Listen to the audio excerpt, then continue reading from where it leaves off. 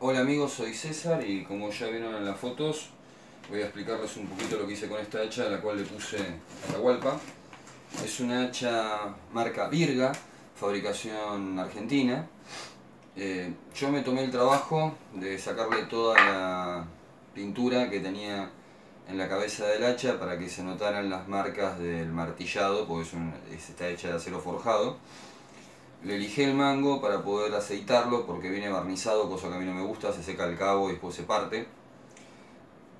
Traté, o lo que he hecho es ponerle un kit de emergencia o bien de, del concepto de lo que se llama last shot o último recurso, en el cual lo que puse es bastante minimalista, es eh, cuatro fósforos de tormenta para garantizarme fuego, porque en cualquier situación de emergencia el fuego es eh, lo más importante que podemos llegar a tener. 35 metros de tanza monofilamento del 0.40 con punto de quiebre de 11 kilos, la cual me permite, aparte de pescar, yo me muevo mucho en la isla, así que si puedo pescar tengo comida asegurada, eh, me permite hacer trampas, no para grandes animales, pero sí para aves, eh, me permite también, como es cristal, o sea, no tiene color, me permite poder hacer un buen tripwire, o sea, una alarma de paso, para saber si algo o alguien se está acercando a mi refugio, si es que lo necesito. Eh, tal vez algunas personas puedan pensar que poner fósforos de tormenta en un kit de emergencia es obsoleto, habiendo algo, cosas mejores como puede ser un ferrocerio o un encendedor pero eh, sinceramente como quise mantenerlo minimalista y de bajo costo, los fósforos de tormenta son caseros, los hice yo y dieron muy buen resultado. Eh, a mí con un fósforo solo me sobra y con un fósforo de tormenta más.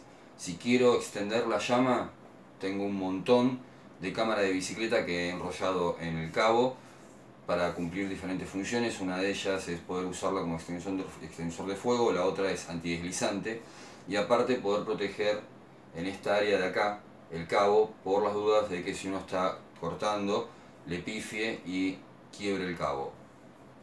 Sinceramente si a mí me dan a elegir entre un cuchillo y un hacha para una situación de emergencia me quedo toda la vida con un hacha, más esta que me tomé el trabajo de cambiarle el ángulo del filo y eh, dejarlo aproximadamente a 30 grados, corta con un cuchillo, así que no sería difícil para mí con esto poder eh, procesar un pescado, procesar un animal, eh, aunque sería difícil que case un animal grande en una situación de emergencia, pero puedo hacerlo si lo tengo que hacer.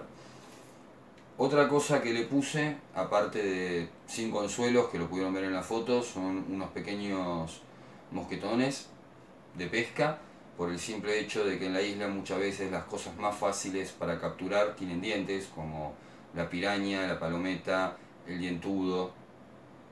Son cosas que pueden cortar muy fácilmente eh, la tanza del 0.40 y tener esos mosquetones no nos va a ser igual que un líder de acero, pero nos da una posibilidad más de que no eh, nos corten la línea.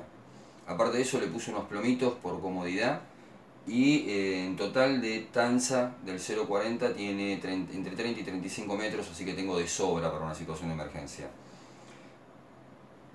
La verdad que lo tomé como proyecto de bajo costo, incluso la máscara o bozal se la hice con un pedazo de PVC de desagüe que encontré tirado en la calle y los tornillos, la verdad, los saqué de la basura de mi trabajo.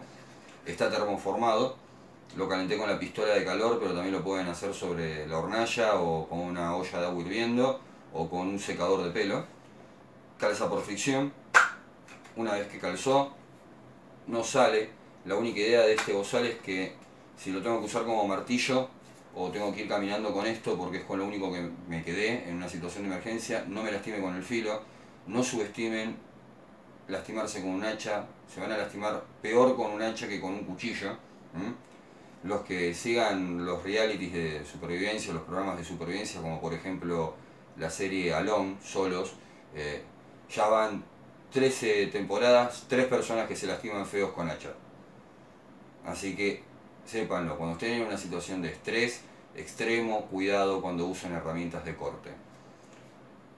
Dentro de poco vamos a estar viajando para la isla, pero un poco más al norte con mi prometida, nos vamos a ir para el lado del Paraná Mini, así que va a haber oportunidad de hacer uso y abuso de esta hacha y ella tiene un igual, así que vamos a estar testeándolas y espero que les guste.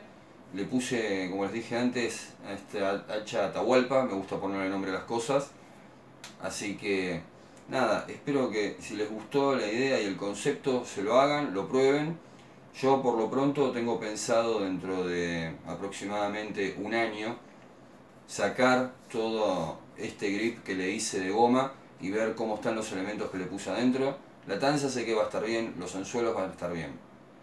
Pero quiero ver cómo van a estar los fósforos de tormenta por el hecho de el agarre y presionar tanto las cabezas de los fósforos.